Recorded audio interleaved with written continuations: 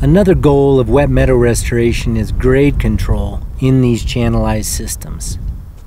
So we'd rather we'd rather there wasn't a channel here, but one way that we can try and stop it from getting deeper is with the workhorse structure that we call a one rock dam. And the one rock dam is made up of many rocks actually, but it's only one rock high. What we would do here is we would install a one rock dam across the channel here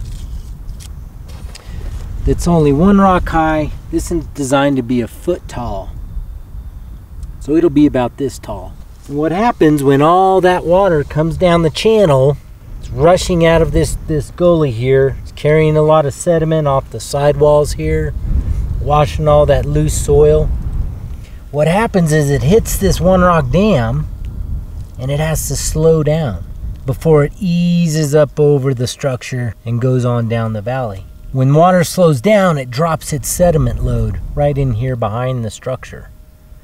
So the One Rock Dam not only traps sediment, and grades or brings up the depth or the depth of the channel here, but it also doesn't allow the channel to get any deeper.